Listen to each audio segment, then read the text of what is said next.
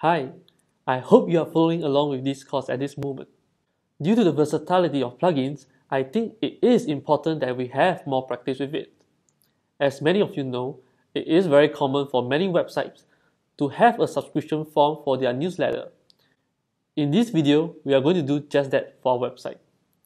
We are going to use an online email service called MailChimp, which is free and awesome to help us do just that. This is their website and I personally love it. Everything they build is so cool and so sleek and really trust the quality of service they provide after using them for a while. If you are still unsure what MailChimp does, let me explain it to you now. Basically, MailChimp helps you to collect emails in lists, and that's it. You can also use them to easily mass send newsletter to your subscribers in your email list. One other reason to use MailChimp is due to its popularity. When a service like MailChimp is popular, there will be many plugins and extensions that you can use to integrate them easily onto your website.